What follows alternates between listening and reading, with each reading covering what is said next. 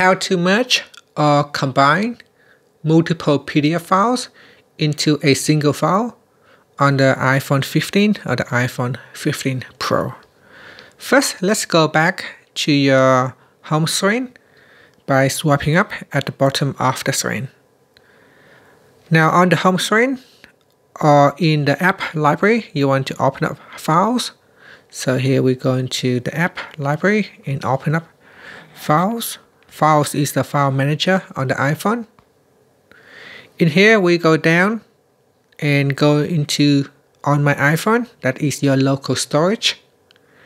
And then go to the folder where it has the PDF file.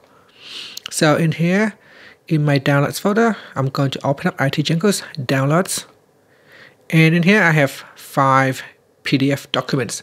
Now I want to combine them into one single file. So what you want to do is tap on the More button, then tap on Select.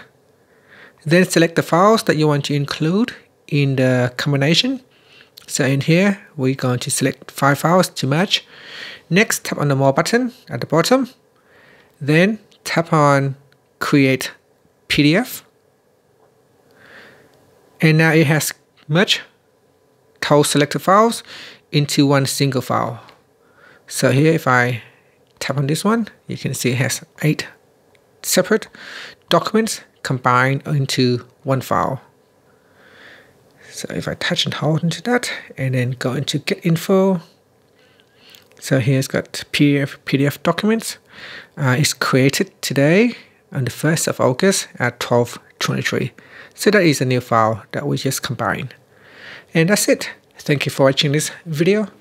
Please like and subscribe to my channel for more videos.